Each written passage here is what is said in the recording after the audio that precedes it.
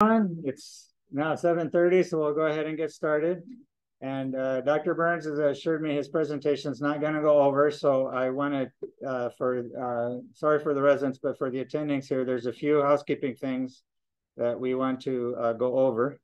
Uh, so first of all, uh, I want to, let me find what I, okay want to call uh, everybody's attention to the fact that these instructions I'm going to give right now, I may go through them relatively quickly. And if you're residents, you don't need to know these.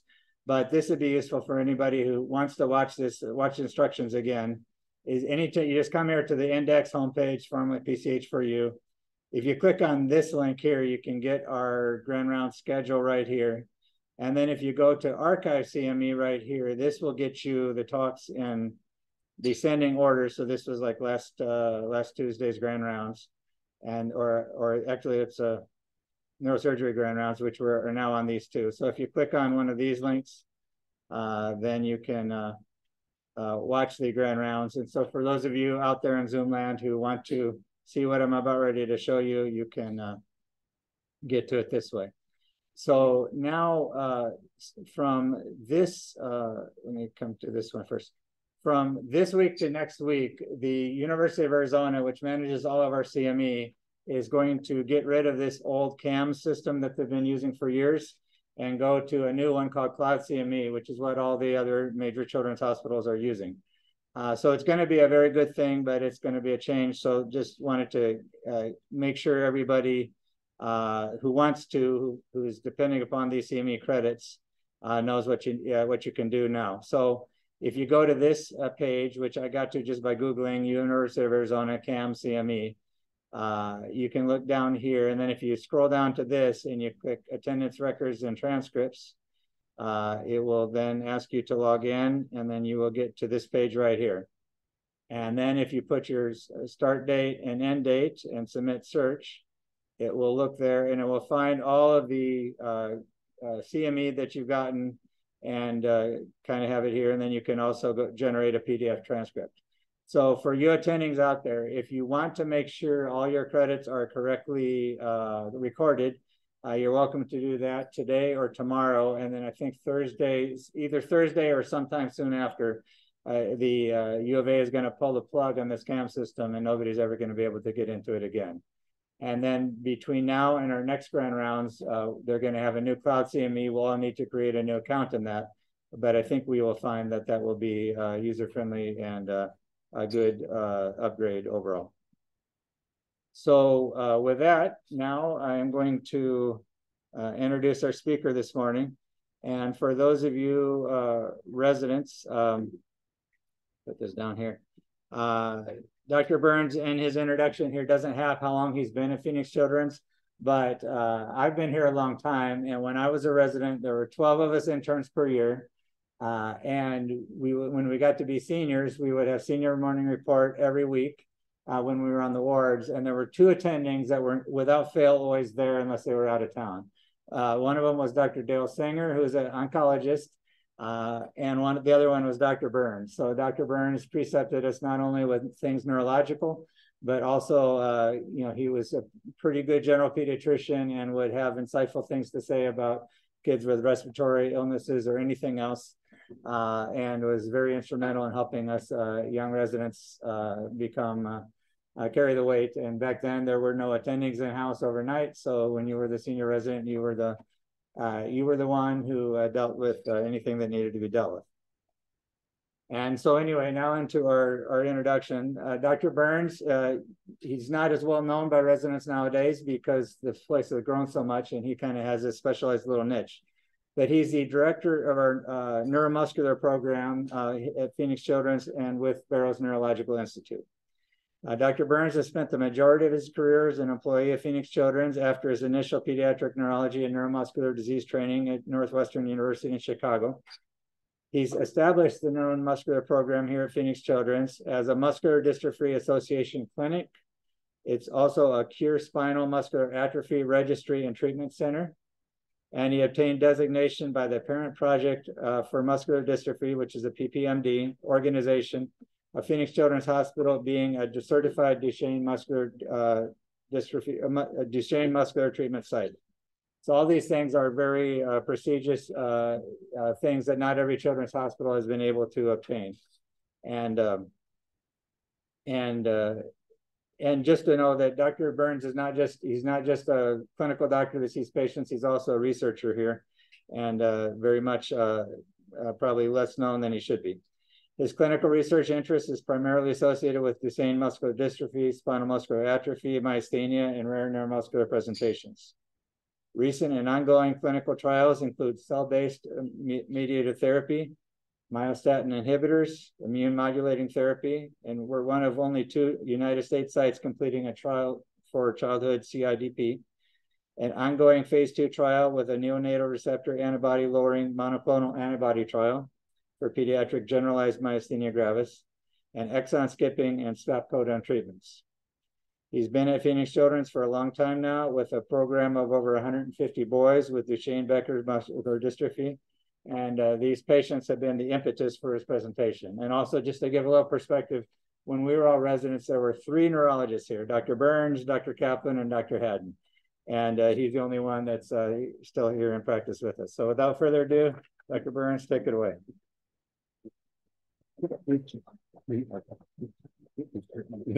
Thank you. Thank you, John. Minimize that. All right. So Duchenne's muscular dystrophy is uh, a rare disorder. Uh, and so sometimes it's hard to come to grand rounds and, and, hear about a rare disorder. So I sort of uh, added the uh, history of PCH, which is um, uh, throughout throughout the talk here. So if you try to Google uh, the history of PCH, you, you, can't really find it. The history is not really well documented. You'll come up with this one page, which will have these major sort of topics and talk about hospital within a hospital, breaking new ground, and partnerships, expansion, growth, and you'll see this building behind it, which is really poorly defined. Okay, so you're going to learn all about this as we go through. So my disclosures are is that the majority of my career has been here, and the advances in Duchenne muscular dystrophy care, diagnosis, treatment have paralleled virtually the creation of this institution. Um, and when you talk about things that seem to be unrelated, I mean, the, the psychiatrists have a, a name for that. It's called transference, and I'm just going to plead guilty right now and we can go on. So, and the last thing is that the history and these stories that I'm going to talk to you about here are all true, but they're subject to my interpretation. Right. So the objectives are to reveal the changes in the diagnosis, care, and treatment of Duchenne's. And then I'm also going to talk about what I interpret as the important milestones in DMD as related to the creation of Phoenix Children's, the Great Flood, which most of you guys have not heard about, the merger and the building of the hospital. And then at the end, I'm going to I pick three topics that will um, review what I think is going to change routine pediatric care. Three aspects of Duchenne's muscular dystrophy, which will change the care of Duchenne's or, or change the care of, of general pediatric uh, issues. So every story has a beginning and every hospital has a creation. The Phoenix Children's was created in 1983 after a committee was um, uh, developed, and this had no physicians on the committee. It was the uh, ex-governor and ex-secretary of state who was going to become governor, the head of uh, Salt River Project, the head of the Phoenix Gazette newspaper, and a retired uh, general from the Army. They decided that uh, the hospital needed to be within a hospital.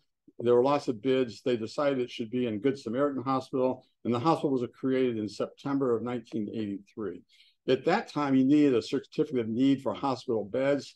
And even though the committee stated that the hospital should probably be a good SAM, there were a lot of hospitals that applied for that certificate of need. The state denied all of them, and Good Sam basically gave 78 beds to Phoenix Children's that started the hospital. Okay, right down the road. Okay, you can still notice the building. The the building on the left is the um, the outpatient center, which is behind that uh, Google page. That was where our clinics were, and the hospital at Phoenix Children's was actually on the fourth, uh, the third, and the eighth floor of um, of this uh, tower.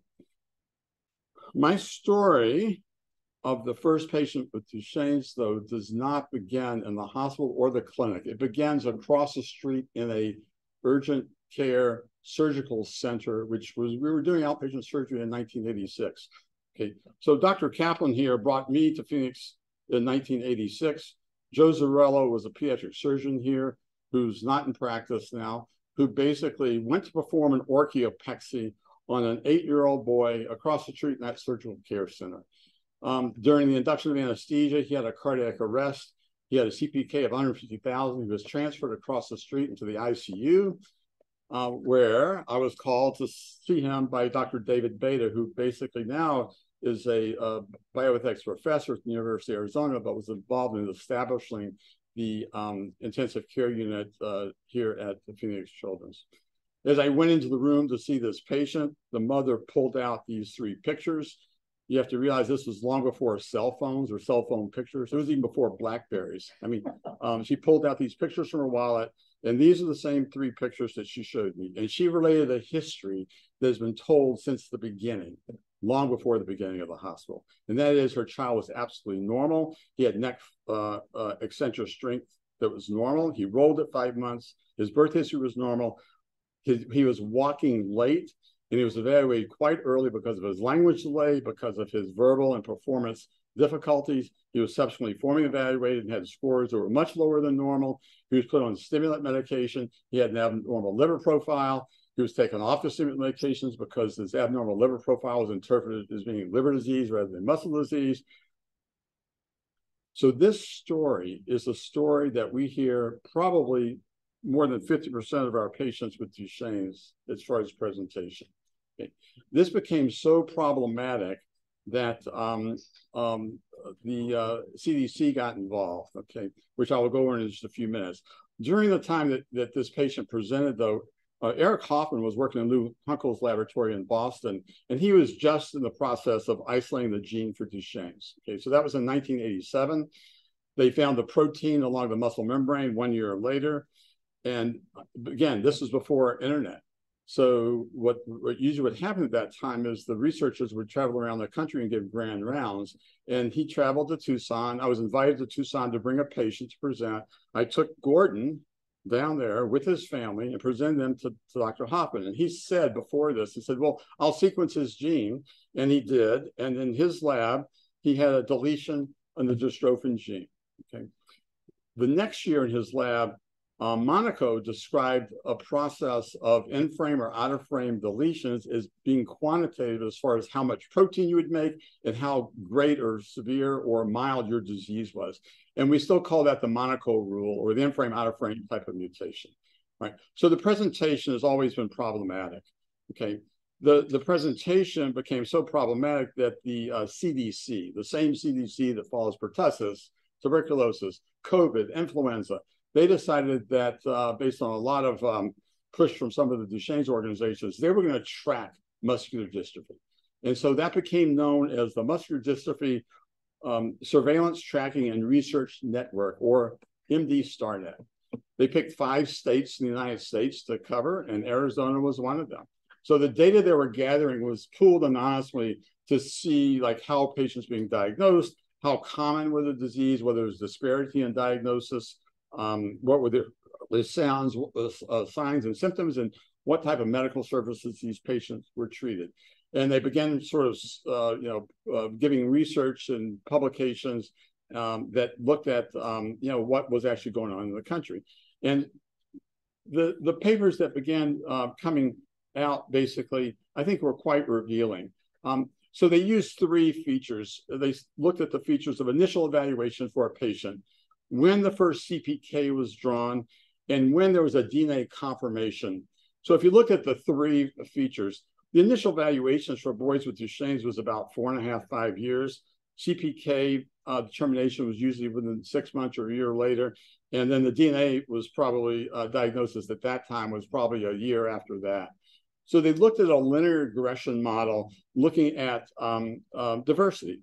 And uh, the bottom line was that um, if you were Caucasian, your, your CPK was drawn about 12.9 months before um, uh, Asian or African American. The DNA was about 24 months earlier.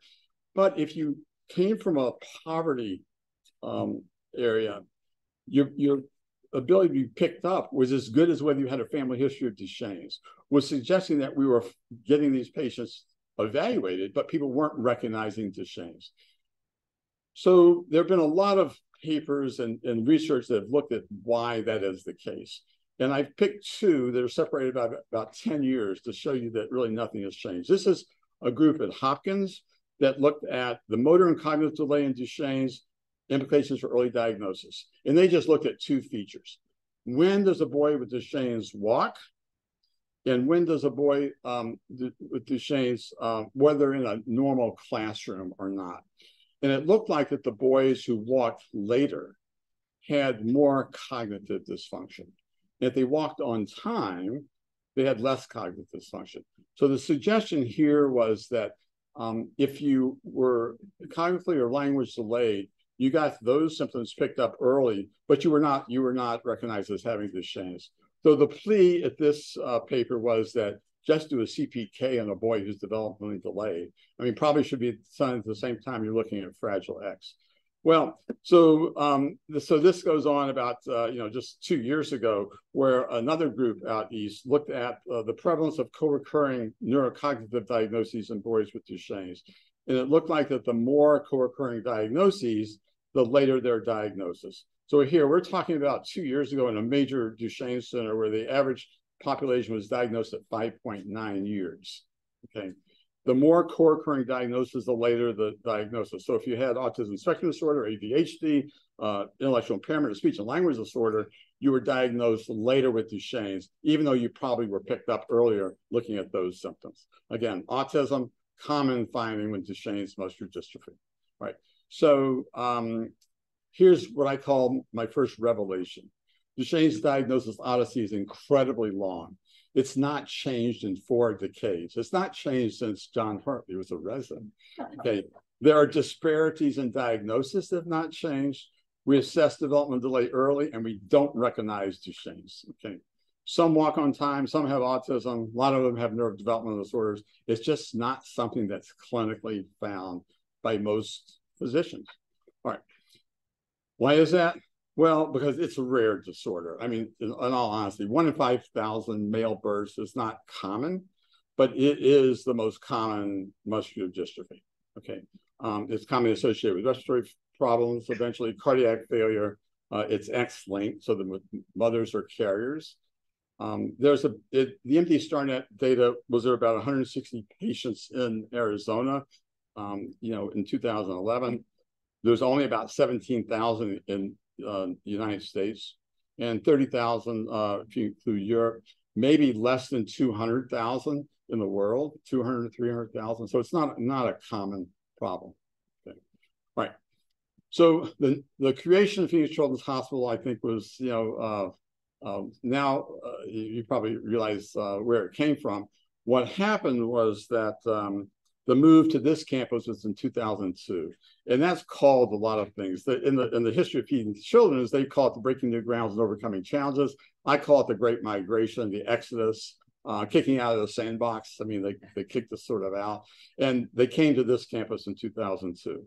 This was originally um, um, a uh, uh, what was called Phoenix Regional Medical Center, and as soon as we got over here. Um, there were problems. There were a lot of problems that uh, you know because of a new hospital. But um, the Great Flood was probably the the major problem. Within a two months of getting here, there was a rain for it wasn't 40 days or 40 nights. It was like just one day. But there, but there's the picture out there. And the roof here probably uh, sprang a little bit of leaks, and the whole first floor over in the east building basically was underwater. The know, the ORs were closed. It was it was it was a mess.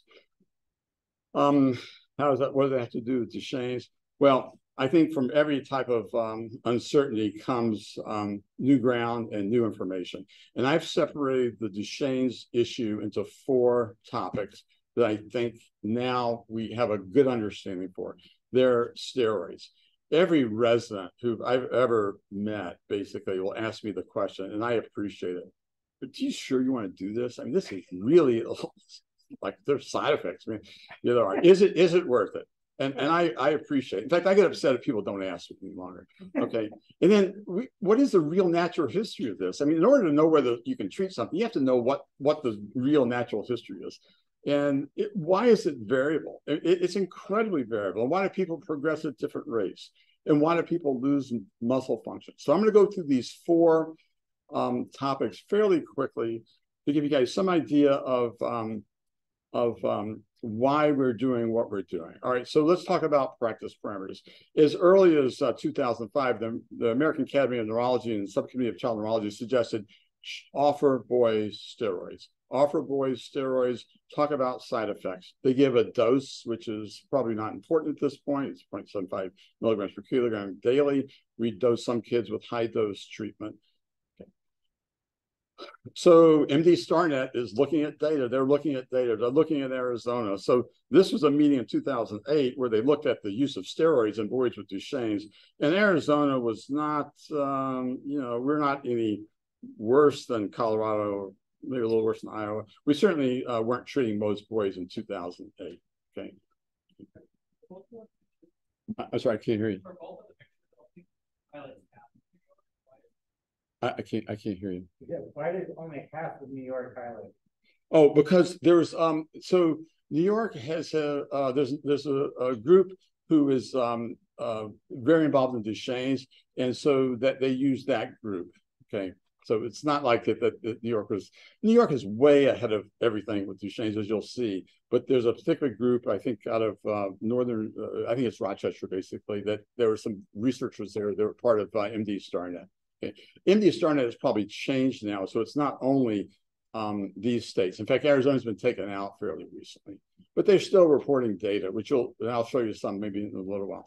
So anyway, so the the the second point here is that steroid molecule can be tweaked. And that's really important for, at the end of this talk. So the second steroid that really um, uh, or the first steroid that was approved was a medicine called the deflazacort. And the study that was done to look at that was randomized, placebo, blindedly controlled. You don't see studies like that in Duchenne's. So that was done in 1995. So the drug works just as well, probably as prednisone. It has some benefits. It has some more side effects like cataracts. I don't think the drug at this point is, in, is important, but uh, what's important is that you can change the molecule to change um, side effects and subsequently change function. So this is thought to have somewhat less suppressive activity, um, less weight gain, and probably other uh, similar side effects with a little bit of dose. But what's important about the Deflazacort is that this made the halls of Congress because once it was approved, and it has been approved um, uh, by the FDA for treatment down to age two years, okay, um, the price really was exorbitant. And the company that actually bought this didn't do any research. They just bought this and got it approved for a study that was probably 15 years old. So Bernie Sanders and Elijah Cummings in the House, they just went, you know, um, they, they really went after this. And actually, uh, as a as a uh, an example of um, you know uh, medical uh, overcharging. And uh, eventually the price was lower, the company was sold, and the deflazacort's been out there as a treatment. So here's the bottom line 15, 20 years later, we have good data on why we use steroids. Okay, so if you ask a boy with Duchenne's what's important to them, yeah, some of them will say, I want to walk longer. What they really say is that if I could use my hands and arms 10 years longer, I would do anything. So standing from supine, loss of ambulation are clearly improved with long-term steroids, but overhead reach, you can prolong a boy's overhead reach by sometimes five and maybe up to eight or nine years by daily steroid use. Okay. So again, at this point, that is the recommendation, and that's what we're doing. Okay. So I want to talk a little bit about variability and diagnosis. So, um, and I believe that um, you know, we see. So th there's a significant expansion and growth of Phoenix Children's Hospital. Okay? And this is, um, you know, part of the turnaround when, when Bob Myers came here. Um, they talk about expansion and growth in 2000 with satellite clinics opening up. But as John said, I've been here a long time and I've been to a lot of satellite clinics. So I can tell you in 1997, that's a satellite clinic on the west side across from Banner Thunderbird. This is a satellite clinic on the west side. This is Scottsdale in 2000. Scottsdale more recently, the ambulatory building here in the East Valley. So um, expansion is important. I show you this slide not because of expansion. If you notice that this is not a CAPTCHA to get your your your your password, this is um, a way that we look at function of Duchenne's. And all these pieces have in common a 10 meter hall a 10 meter hall that you can watch a patient run in time. And that tends to be a big feature as far as uh, Duchenne's. Okay. So what is the real natural history? We have very simple ways now of looking at um, function in Duchenne's muscular dystrophy. Um, in about a, a 10 or 12 minute visit, you can do what's called a North Star ambulatory assessment, which I use basically on lots of patients. So there's 17 tasks here that you can have people do. You can have them stand, you can have them walk, you can have them sit in a chair and try to get up. So 17 tasks, you get two points if you can do it normally, one point if you do it with accommodations. If you can't do it, you get zero points, like getting off the floor. Or you can't get off the floor, you got zero points. If you can jump and get both feet off the ground, you get two points. So 34 is a maximum score. Okay, so if you look at boys with Duchenne's, okay, um, the average boy with Duchenne's probably has a score of about 20, 22, 24, 26. But if you follow them sequentially, I think you, what you'll see here is that patients get better before they get worse. Okay, that one statement um, and knowing that probably, or, or we're not knowing that, probably cost millions and millions of dollars in trials that were not uh, positive because we didn't know really when we were treating boys and they weren't uh, they weren't uh, stratified because of function. So if you're treating somebody down here, you don't uh, expect them to get better, but stability may be something you would ask. If you're treating somebody upslope, they're getting better anyway, so it may be hard to tell. So the point is that uh, the natural history of Duchenne's now has been told. Right. So to understand the variability, you also need to understand what is Duchenne's muscular dystrophy? So this is the protein. It's attached down here to a sarcomere um, at this um, N-terminal, and it's attached uh, the other side to the cell membrane. Okay, it acts like an axle. So as your sarcomere moves back and forth, I mean, this axle basically stabilizes your muscle membrane. And if that's broken, your muscle membrane gets injured or damaged. Okay, and the more damage starts a process which um, that we'll talk about in just a few minutes. Okay. So the other thing that you need to know about the gene for Duchenne's, I mean, it is, it is the biggest gene in the body. I mean, it's huge. Um, it's uh, so big that you can't really put the whole thing in a viral vector, which we'll talk about at the end. But there's 79 exons, and depending on the type of mutation you have, really depends on how much protein you make and what severity of disease you have. So um, if you have a in-frame mutation, you tend to make more protein because the the messenger RNA can be read. Out, for, out of frame mutations, you don't make any. Stop codons, you're not expected to make any protein, and they're usually more severe. Um, there are lots of other mutations, frame shifts, deletions, splice mutations. Um, these idea of these promoters, there's multiple promoters, which are areas in the gene that make different types of dystrophin. Um, that has turned out to be probably one of the most astounding features of Duchenne's that wasn't recognized. And I'll give you some examples of that uh, in the talk that I think are quite cool. All right, so understanding disease variability. I have two videos here I will show you. These are uh, based on uh, boys who are walking uh, 10 meters. And, you know, from a, a pediatric point of view, if you had every child go down a 10 meter hall, I don't think you would ever miss a boy with Duchenne's in your clinic. I mean, so here's the typical run of a four and a of three 12 year old who has an out of frame mutation. He has normal cardiac function. Um, and he's been followed to 16 years with normal cardiac function. Uh, he began, he stopped walking at age nine. So let's see a double phase walk with his arms going back and forth. I mean, that's a typical what we call Duchenne's jog. Walking like that, he would get one star on a um, or one point on a North Star. Okay. And here's a boy who's seven who has a 44 out of frame deletion. Um, uh, and if you watch him walk, this is a little bit different. So he's up on his toes, but he doesn't have the jog. Okay. So he has milder disease. He's over. He has an out of frame del deletion, expecting he would not make a lot of protein. Okay. So, and these are the, the where they show up on a typical six minute walk if you extrapolate that to what's norm. They're both less than normal, but obviously the older boy has done a lot better than the younger boy. Again, variability of disease, not not really well explained. Okay. The other thing that people talk about is, you know, you, you we talk about it as being a Gowers maneuver. Um, to to neurologists, neuromuscular neurologists, it's time to stand. All right, so here are two individuals. This is a 24 month old who has a exon 3-7 deletion, which is out of frame. Okay. So he's expected not to make any protein. But if you watch him get up, he doesn't use his hands at all. Okay. He's he's pretty good. Okay. Now his grandfather walked till he was 30. Okay.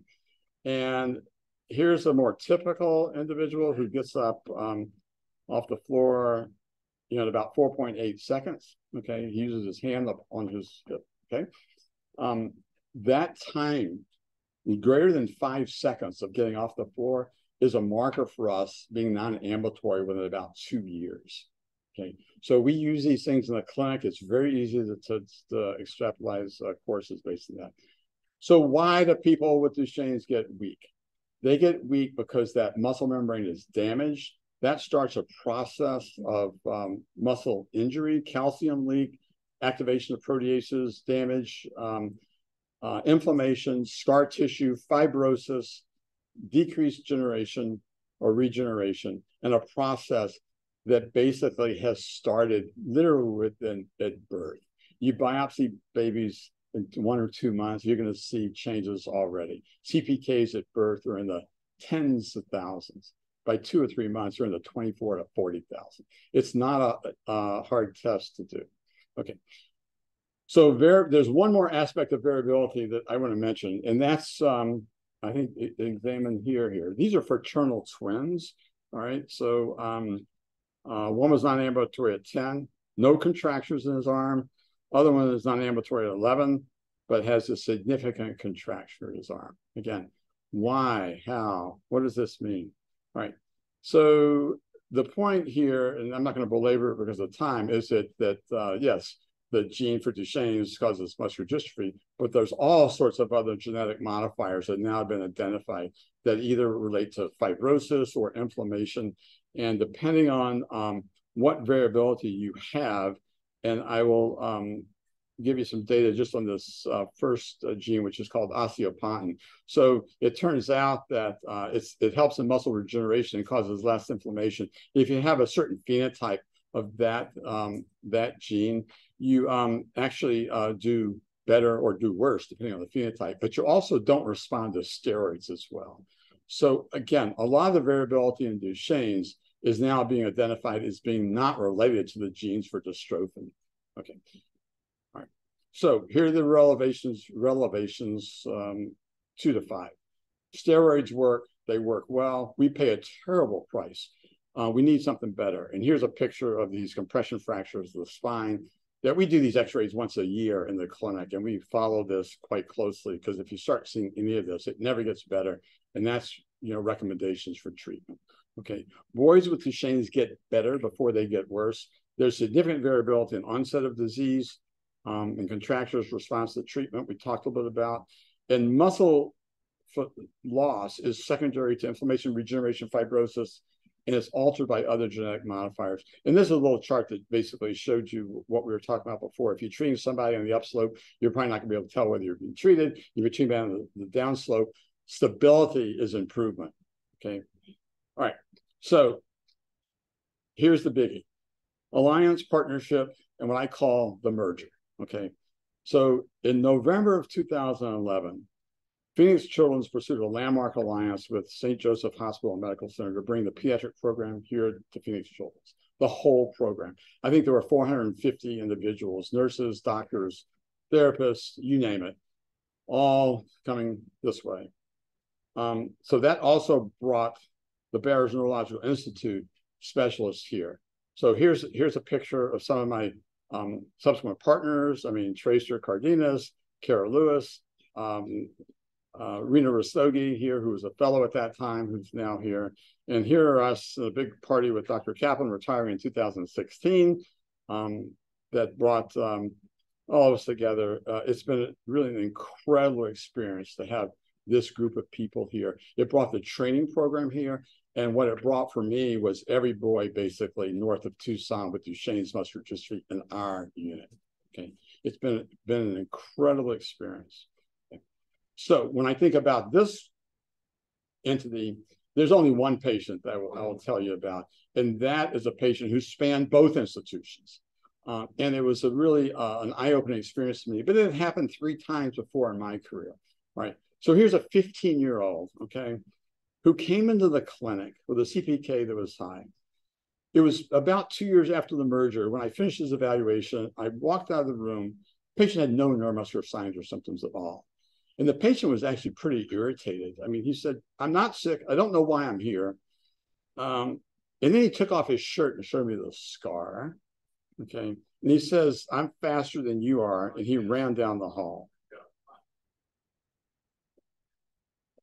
Not sick. Okay. You probably wondering why I'm showing you this. All right.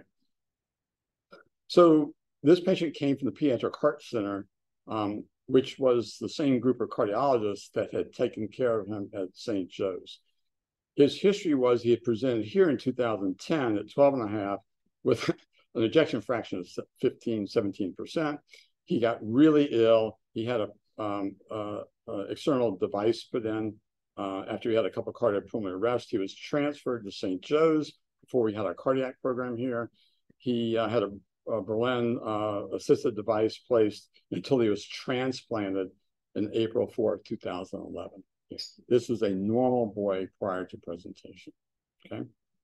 Um, he had a family history of his grandmother and great grandmother having some cardiac function. That should be a little bit of a hint.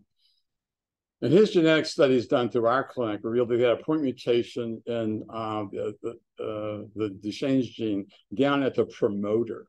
Okay, that first exon is a promoter. And that had already been reported as an X-linked dilated card cardiomyopathy in a point where he made uh, enough protein through some of the promoters in his muscle to not have muscle disease, but his heart was totally deficient of dystrophin. So how do I know that? Because Daphne DeMello, who's the head of the pathology here, she she she retained his heart and she stained it. And he was dystrophin deficient in his heart, yet his um, muscles were fairly normal, except for leaking a little bit with an intermediate CPK. So dilated X-linked cardiomyopathy is a phenotype of Duchenne's. Okay. All right. So talking about promoter defects, okay, and those seven promoters, three are full length and the four that are not, um, brings us back to Gordon when he presented. If you all remember that he had significant um, cognitive problems, language problems, performance problems um, throughout throughout his life, basically.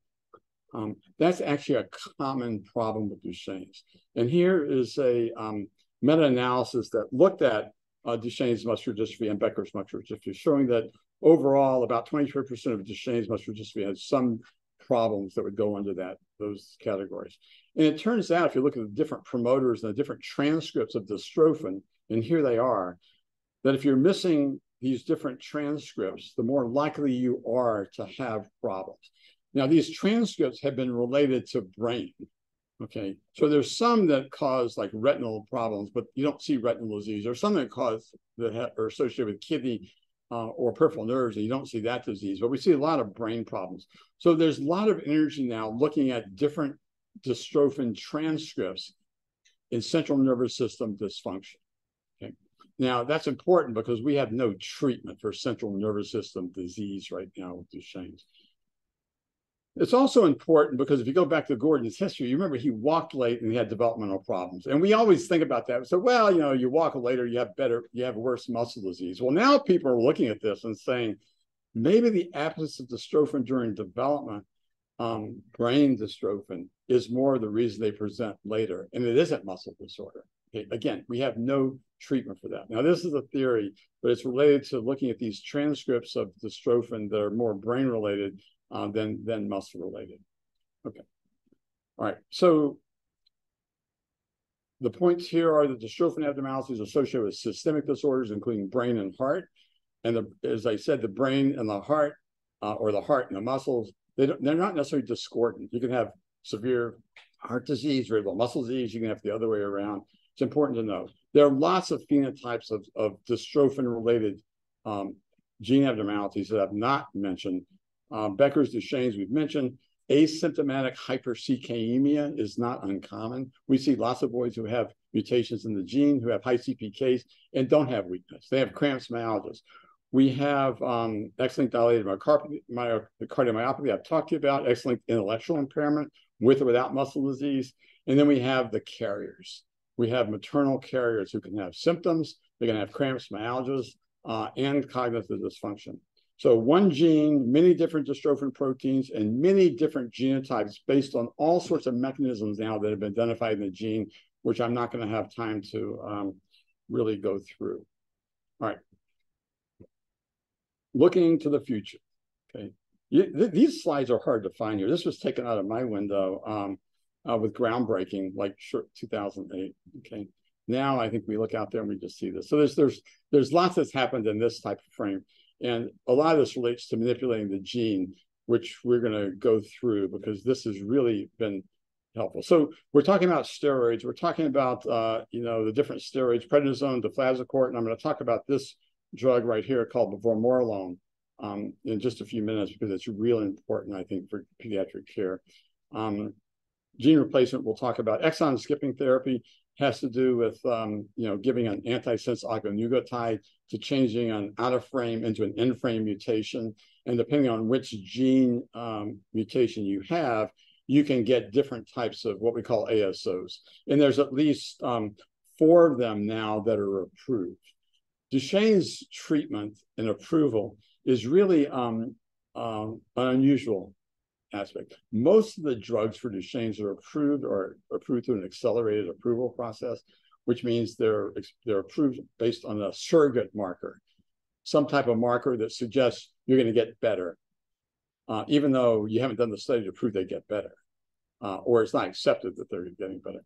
All right, so all of these um, um, approvals, um, including um, exon, skipping exon 51, 45, 53, uh, were approved that way. That's a good percentage of the boys with Duchenne's. It's not a cure. They, they require weekly infusions. We have about 35 to 40 of these boys who have Portsin who are getting weekly infusions um, that you'll see in the hospital um, if they get hospitalized. Uh, most of the infusions are being done at home. In fact, all but one of the boys are being, being done at home. So it's not a difficult process. The medicines are expensive um, and they're not cured, curable, but um, they do modify the course enough that they've been uh, accelerated approved. All right. So with that information, the FDA um, at a recent advisory committee looked at the urgent unmet medical needs for Duchenne's. They talked about the deflazacort. They talked about the four exon skipping therapies, and they talked about the, the bad outcomes that for every 1,000 patients 20, 25 years old, 86 are dying every year. Um, they talked about a life expectancy of about 30 years. Okay. And the reason they did this because um, the FDA was in the process of deciding where they were going to approve the first gene therapy. Gene replacement's not a good word. Gene therapy for Duchenne's. Okay, so this drug, which has a name now, but we call it delandistrogene maricavir, okay, is a viral-based gene therapy that was approved June 22nd in the United States under accelerated approval pathway. Okay? Again, based on very little data other than a surrogate marker of dystrophin production in muscle and uh, a very small group of boys between age four and less than six. So that's the approval right now. Okay. Very small group of patients. Okay. I won't spend a lot of time going through the approval process. You can see that the, the, preclinical study started in 2017. So we're in, you know, 23. We're talking about six years from start to finish. All right. I'm going to tell you a little bit about this because I think it's important. So um, as I mentioned uh, a little while ago, that the dystrophin uh, gene is much too large to put into any viral vector. So you don't you don't need to give the whole thing. You can give pieces of it. And there are individuals walking around at 60 or 70 who have um, small dystrophin or large dystrophin mutations, but they have the right mutation that they make enough protein, they don't get sick. So they use that transcript. They use that um, um, uh, gene, put it in a viral vector, um, and infused it one time into this group of boys. Okay, and the viral vector is AAV RH74. It's a rhesus um, monkey vector that um, um, is is is oriented in a way that it will um, um, go to the heart and to the muscle. So it's cardiac and muscle. None of the other exon skipping therapies get into the heart at all. So this is a first heart quote therapy. Um, so the vector was isolated from non-human primates. It goes into uh, muscles. It has low affinity for existing immunity. So you have to, you can't have antibodies to the viral vector um, in order to get treated. So we've screened five boys here, and three of them have high antibodies to this vector. Can't be treated. Okay. All right. Two of them are pending uh, insurance uh, appeals. Let me put it like that. So not a lot of boys out of 150 who qualified. Okay. The promoter um, um, is is a, uh, a way of, of, of, enhancing production in these type of tissues. Right. Right.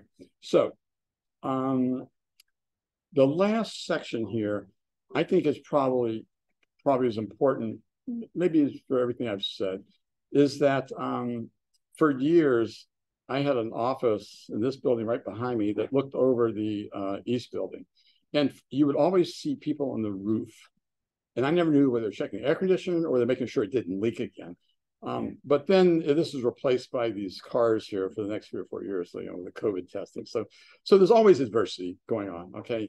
And there's always ways of mitigating that, that adversity. So I'm going to tell you about three things that have been mitigated um, in Duchenne's. I think maybe will change your um, you guys approach. Okay, so in the process of gene therapy, there were four companies that had trials. Okay, and they all used different vectors. Okay, so that's the viral vector that the, the gene would put in. They used different transgenes. So they didn't use the same um, piece of dystrophin. They all made their own, quote, microdystrophin. And they all had different promoters. Okay, so four companies, okay, um, treated their patients and quite quickly, there were problems. There were at least five patients that there were over these four companies who got really, really sick. And they all had the same sort of uh, phenotype. They um, had extremity weakness, bulbar weakness. It occurred about three to seven weeks after treatment. Um, some had severe respiratory distress. It appeared to be some type of Im immunological response. Uh, they all ended up surviving, but they required really aggressive therapy. The hypothesis at this time was that there was a T cell immunity to the transgene product. They were reacting to the protein that was being made.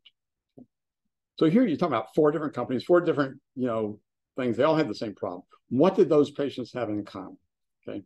They all had mutations down in this um, internal region, usually from about eight, from about exon one to 17. Okay. All of those patients have been excluded from trials and from therapy. Okay.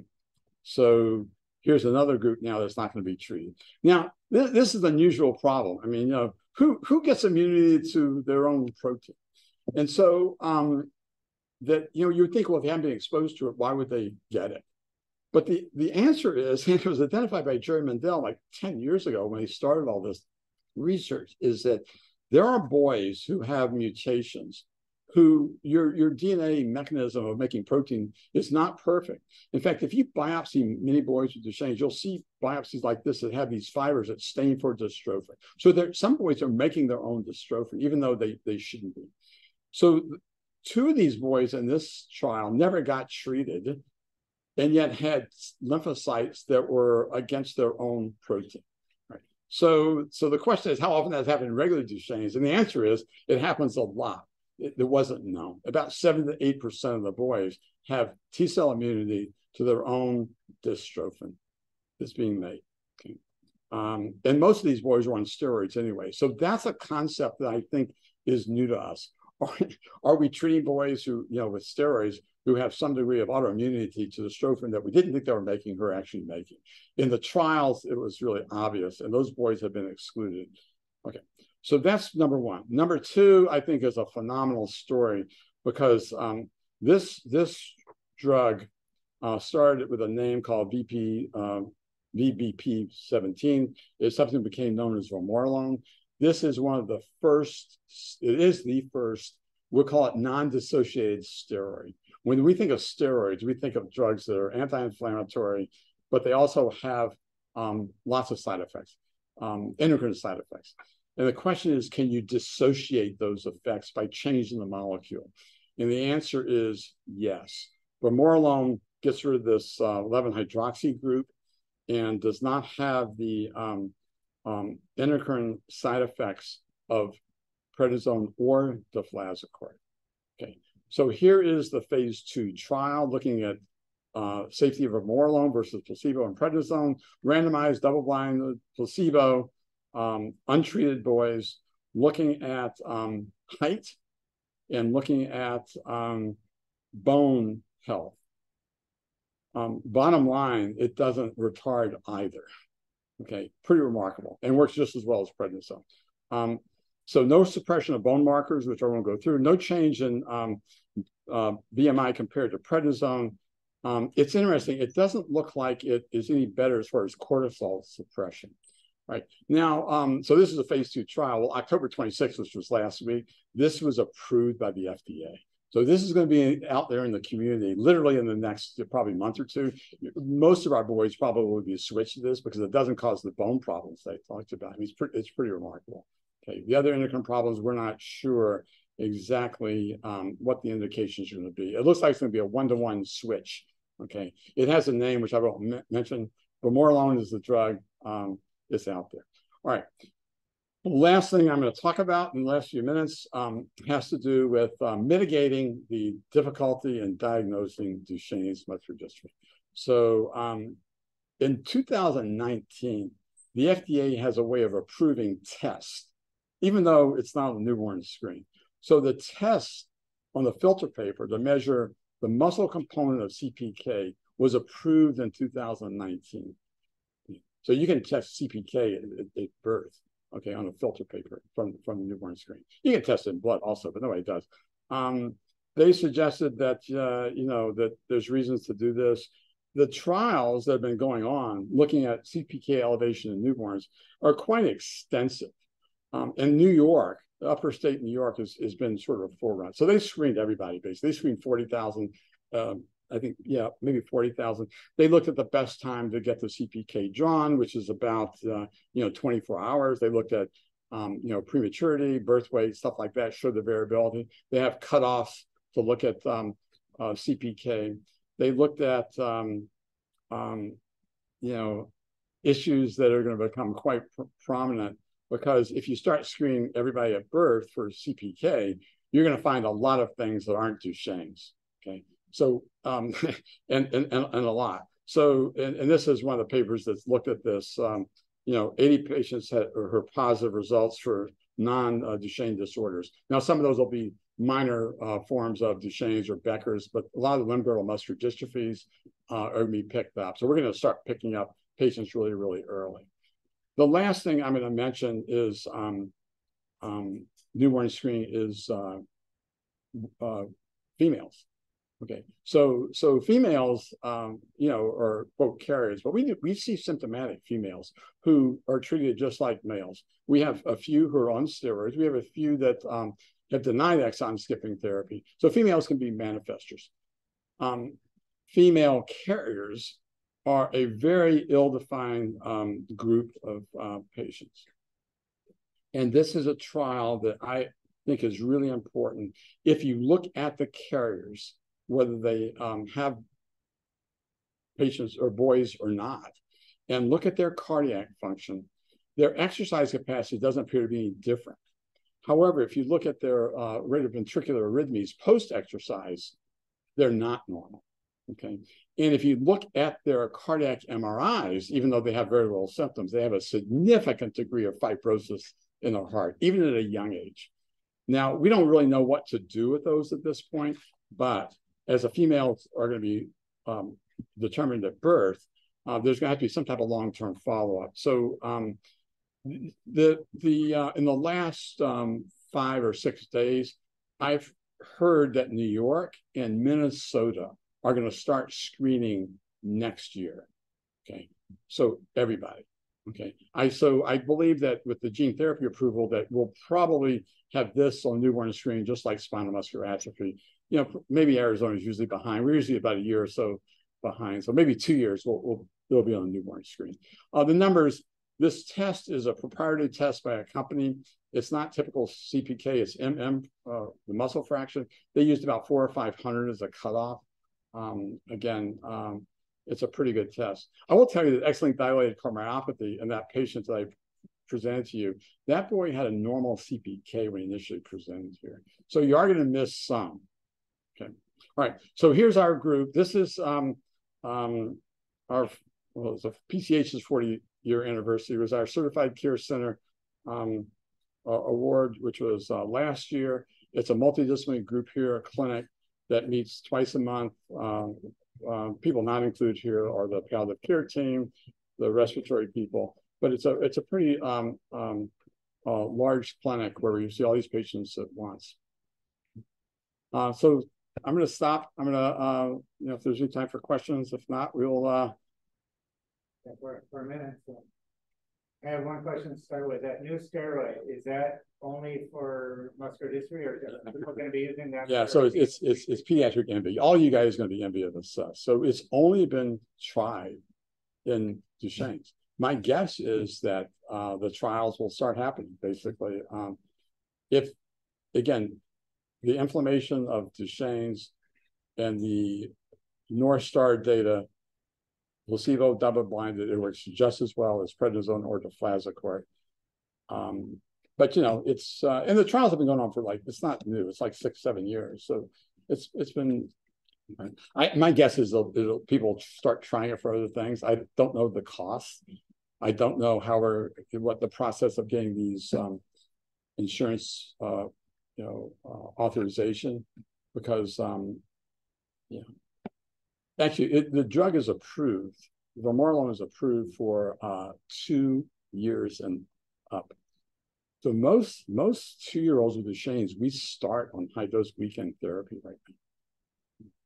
In fact, I've been starting people earlier and earlier because I knew this was sort of coming down the road, and I was telling families, you know, maybe the will preclude uh, you know any type of long-term side effects, but it's best to get you on something sooner. It's a good question. I mean, I just think of the nephrologist. Oh, the, I, I, it's it's transplants.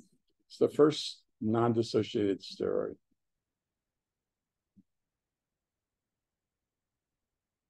Hi guys. Okay. All right. My pleasure. One more question. What for gross motor delay, should we be checking a lot more CKs and kids? I mean, just in a John pediatric clinic than we do. Absolutely. I, yeah, I, I tell our fellows, I said, you, probably should never send a fragile X without sending a CPK. I mean, it, it's very difficult to tell the difference sometimes, especially the little kids. Um, I mean, I have kids in front of me who, who I know have Duchenne's. I can't tell clinically they have it. So yeah, it's you know, unfortunately, it's not on your complete metabolic profile. We, I, I can't tell you why. I've asked every pathologist here through my whole career why why is it not there? And all these children with Duchenne's will have elevated SGOT, SGPT. Okay, so that's sometimes that's a marker. um, you know, we get a lot of our referrals from the GI class.